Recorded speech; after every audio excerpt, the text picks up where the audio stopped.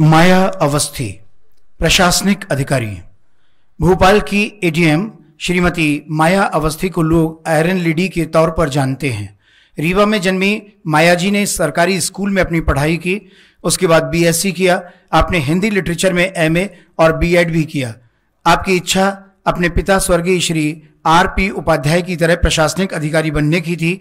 राज्य प्रशासनिक सेवा में आपका चयन 2008 में हुआ। सेवा काल के दौरान एसडीएम हुजूर और कोलार नगर पालिका की प्रशासक भी रहीं। इस अवधि में आपने बड़े बड़े लोगों के कई अवैध अतिक्रमण हटाए। तब से पब्लिक में आपकी इमेज एक आयरन लेडी के रूप में हुई। कोविड की प्रथम लहर के दौरान आप मेडिकल एजुकेशन डिपार्टमेंट में थी। जब कोई बाहर नहीं निकलता था तो इनकी ड्यूटी महामारी के इलाज के उपायों के लिए थी, जिसमें टेस्टिंग, हेतु लैब्स की स्थापना, अस्पतालों के उन्नयन के काम सम्मिलित थे। पर, परम आदरणीय मंच उपस्थित समस्त महानुभाव अतिथिगण। मुझे बहुत कुछ बोलना था लेकिन इतना कुछ सुना है मैंने। आज इतना अच्छा जो अंतर मन से चीज़ें हमें आ, अंदर से उत्साह ऊर्जा और स्फूर्ति से भर देती हैं वो आज मैंने यहाँ पे सुना है। एक्चुअल में जब हम निस्वार्थ भाव से काम करते हैं तो कभी यह नहीं सोचते हैं कि इसके लिए हमें कभी सम्मानित किया जाएगा कोई अपेक्षा नहीं रहती है।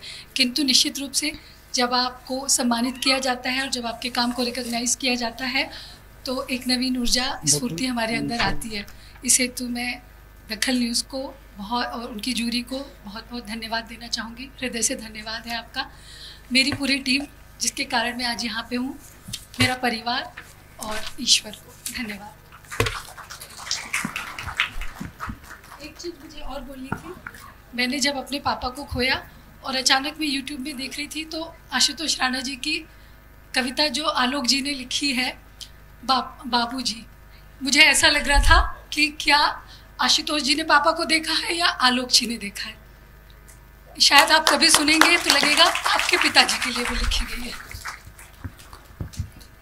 वो खबरें जो आपके काम की है वो खबरें जो आपके लिए ज़रूरी है। हर आम और खास से जुड़े मसले। हर मसले का सटीक विश्लेषण। हम करते हैं सत्य का अन्वेषण। दखल न्यूज़। आपके हक में। आप देख रहे हैं दखल न्यूज़।